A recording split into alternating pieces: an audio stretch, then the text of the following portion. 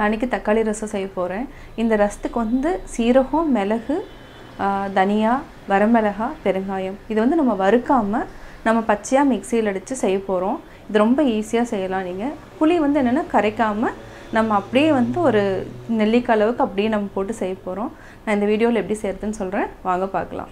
தேவையான பொருட்கள் மூணு தக்காளி போதும்.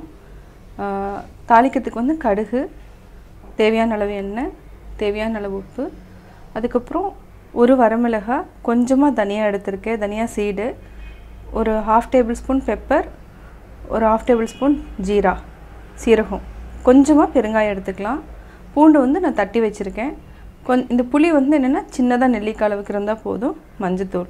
இந்த தக்காளி வந்து நான் சுடுதண்ணியில் போட்டு எடுத்து வச்சுருக்கேன். இப்போ கரைச்சி இப்போ நம்ம எப்படி செய்கிறதுங்கிறத பார்க்கலாம். கருவேப்பிலை வந்து தாளிக்கிறதுக்கு வச்சுக்கலாம். கடைசியில் கார்னிஷிங் வந்து கொஞ்சமாக வந்து தனியாக லீஃப் எடுத்து வச்சுருக்கேன். இப்போ எப்படி செய்கிறதுங்கிறது பார்க்கலாம். நம்ம தக்காளி ரசம் பண்ண போகிறோம் இப்போ வந்து கடாய் காஞ்சிருச்சு. ஆயில் வந்து ஒரு டேபிள் ஸ்பூன் போதும். இப்போ வந்து சிம்மில் வச்சுட்டு நீங்கள் கடுகு போட்டு தாளிச்சுக்கோங்க. அதுக்கப்புறம் கருவேப்பிலை. இது பெருங்காயம் வந்து நான் அந்த இதுலேயே போட்டு பொடியிலே போட்டு அரைச்சிட்டேன். தேவையில்லை. இப்போ நம்ம தக்காளி ரசம் பண்ணுறதுனால வெறும் தக்காளி கரைச்சி வச்சுருக்கேன். பூண்டையும் நான் போட்டேன். இப்போ வந்து என்னென்னா மஞ்சத்தூள். மஞ்சத்தூள் வந்து கொஞ்சமாக ஒரு எடுத்து வச்சுருக்கேன். இதையும் போட்டுருங்க. இது ரொம்ப ஈஸியாக நீங்கள் குக் பண்ணலாம். புளி வந்து என்னென்னா கரைக்க வேண்டாம். அப்படியே போட்டுக்கலாம். இப்போ வந்து பொடி. ஆல்ரெடி நம்ம வந்து அரைச்சி வச்சுருக்கோம். அதாவது தனியா சீரகம் மிளகு வரமிளகா கொஞ்சமாக வந்து நான் பெருங்காயம் வச்சுருக்கேன்.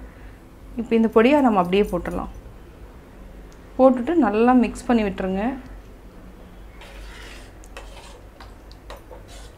இது வந்து ரசம் வந்து ரொ- நல்லா ஃப்ரெஷ்ஷாக இருக்கும். தண்ணி வேணுன்னா கொஞ்சம் நம்ம ஆட் பண்ணிக்கலாம்.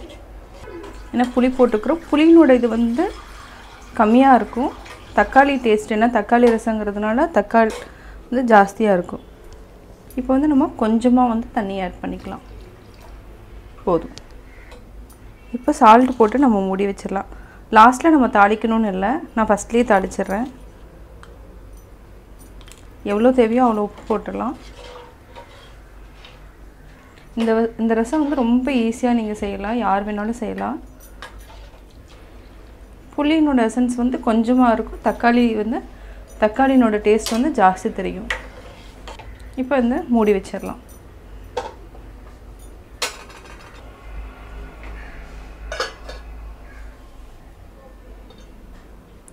இப்போ ரசம் வந்து இந்த கொதிக்கிற ஸ்டேஜ் இருந்தாவே போதும். இப்போ லைட்டாக கொதிக்க ஆரம்பி- இப்போ வந்து நம்ம ஆஃப் பண்ணிடலாம். ரொம்ப நேரம் இது விட வேண்டாம். இப்போ வந்து நம்ம வந்து கொத்தமல்லி போட்டு நம்ம தூவிடலாம்.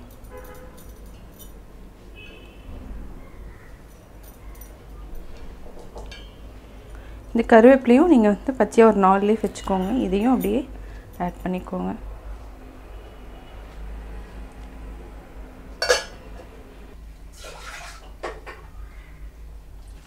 நான் தக்காளி ரசம் எப்படி செஞ்சேங்கிறத பார்த்தீங்க. இந்த ரசம் வந்து நான்வெஜ் சாப்பிட்டதுக்கப்புறம் நம்ம இதை சூப்பாக கூட குடிக்கலாம். ரொம்ப ஈஸியாக டைஜஸ்ட் ஆகும். நீங்களும் வீட்டில் ட்ரை பண்ணி பார்த்துட்டு உங்களுடைய கமெண்ட்ஸ் எனக்கு சொல்லுங்கள் பிடிச்சிருந்தா லைக் பண்ணுங்கள் மறக்காமல் சப்ஸ்கிரைப் பண்ணுங்கள்